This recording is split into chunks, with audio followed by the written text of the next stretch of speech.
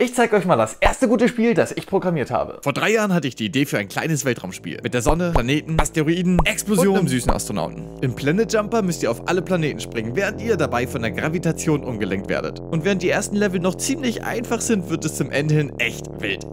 Mit einem Devlog über dieses Spiel habe ich damals übrigens auch meine YouTube-Karriere begonnen.